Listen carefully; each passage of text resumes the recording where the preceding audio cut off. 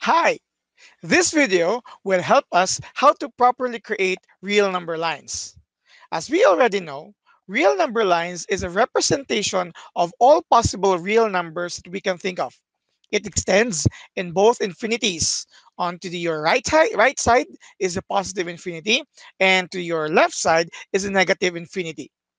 What we all know about the real number line is that uh, the numbers from the centermost value to the right is the increasing values of positive numbers. And from the values to the centermost value to the left are the, in, the increasing values of negativities or towards negative infinity. Let me share to you some practice exercise here.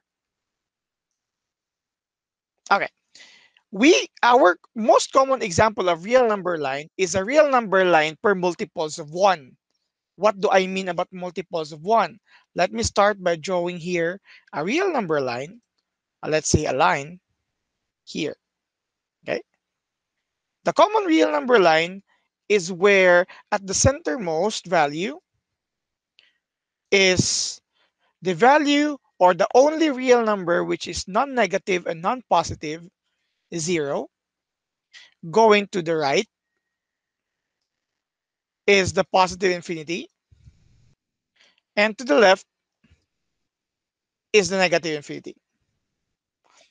Again, the common example of a real number line is per multiple of 1.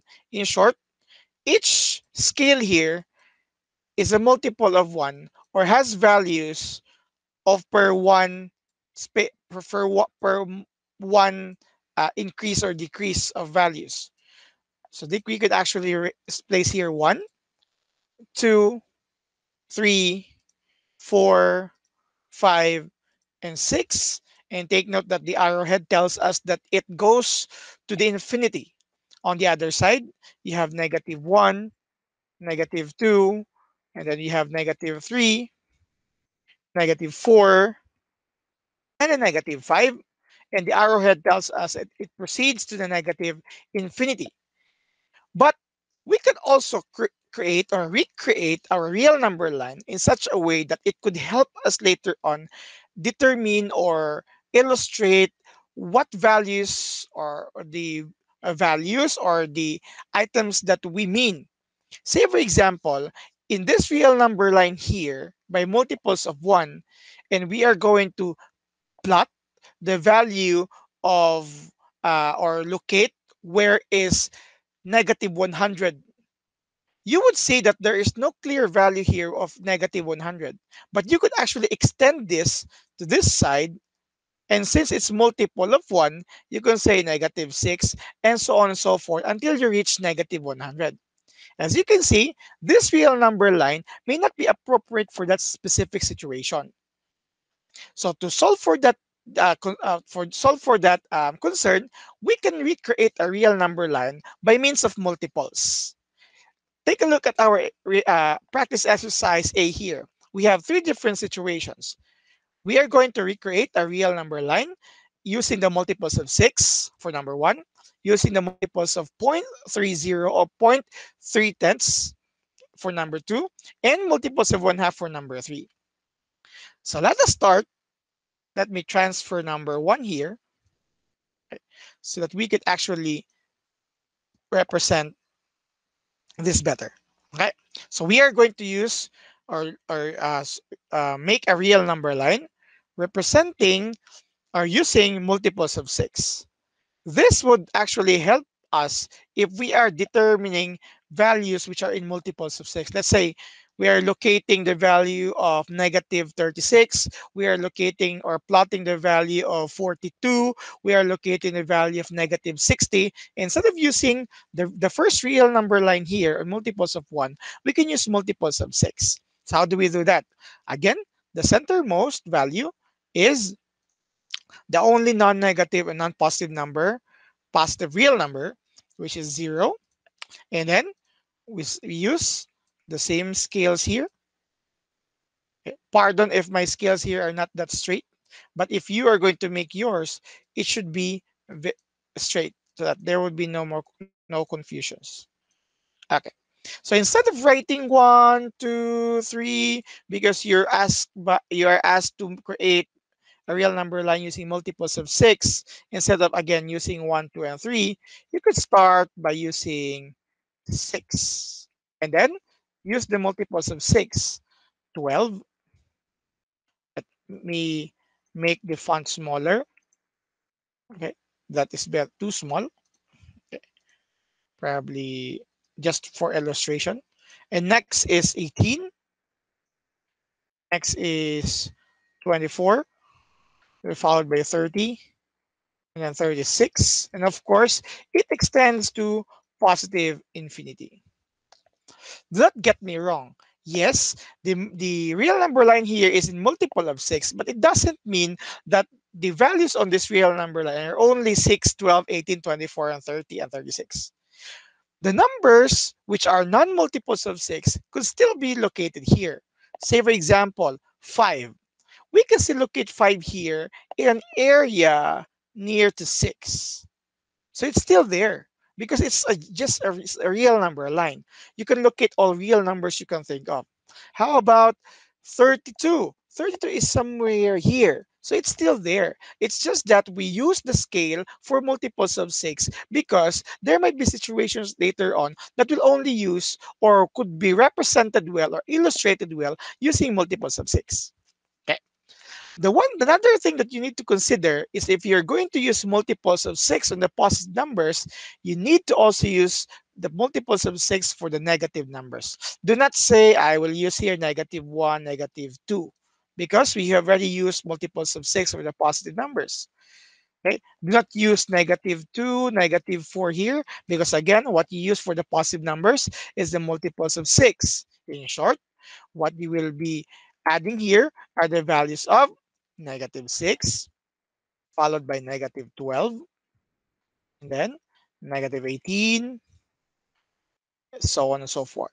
Negative 24, negative 30, and negative 36. And again, it extends to the negative infinity. This is another form of the real number line. We just use the multiples of 6. But again, do not get me wrong. The rest of the values which are non-multiples of 6, such as 1, 2, 3, 4, 5, the fractions, the irrational numbers, are still found in this real number line. Let's have number two. Number two should use the multiples of 3 tenths or 0 0.30. So again, at the middle, you will say use the only non-negative and non-positive number. So as you increase the scale here, okay, you may use the values of 0 30. Let's make it smaller. Sorry.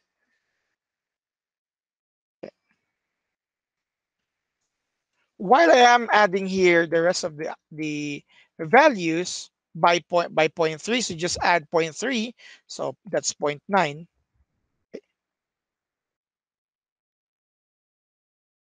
We have 1.2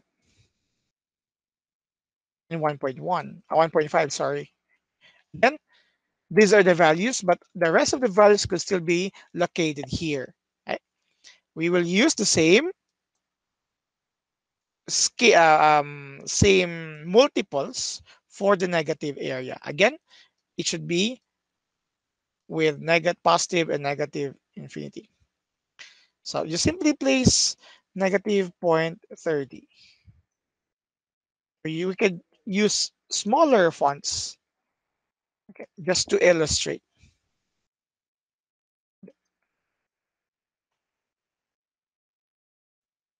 So you, you just need to continue plotting all values in multiples of 0.30. It's negative 1.20, negative 1.50, We also have negative 1.80. So this is now the real number line. using the multiples of 3 tenths or 0.030. And for the last real number line, for number 3, we should start with 0. And then we plot the values until positive infinity. And for the other side, to negative infinity. Okay. So um, another thing, when you look at number two, doesn't necessarily mean that if the last number here is 1.5, it should also have the opposite here as the last item, because uh, doesn't matter because again it extends to both both infinities. And since I have put a scale here, I should place in a value representing that that area. So again, to complete, so by one half, so you have here one half. Next, one half plus one half is two halves. Okay, you can do that. But of course, we always uh, advise you to use the simplified form. Two halves is just simply one. And you have three halves, and then four halves, which is two, and then you have here five halves. For the negative side, you have negative one half. So negative two halves is negative one, negative 3 halves, then negative 2, and negative 5 halves. It doesn't matter now if the values that you have in your real number line are represented in different, uh, with different types of uh, numbers, such as this. We have integers and fractions. Never mind, because all numbers in this line are considered to be real numbers. Fractions, integers, irrational numbers, they're all considered to be real numbers. So this is how we make our real number line. Again, what, uh, what is the purpose? Let me close this. What is the purpose of emphasizing that we could create a real number line just like those in those situations? The answer, now the answer will now be for um, there are some situations that would need a um, very uh, large values to be plotted in a real number line or very small just like in number two and number three in terms of that of numbers in decimal notation or in terms of fractions. One thing that you just not forget is you use the same scales when you go to the left and you go to the right Eh, you may use this video as part of your future review. Hopefully you've learned something. Thank you very much. Goodbye.